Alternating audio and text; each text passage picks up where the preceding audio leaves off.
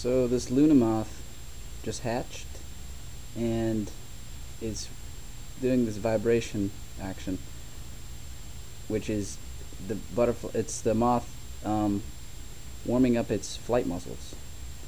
So if I keep it out much longer, I think it'll probably start to fly.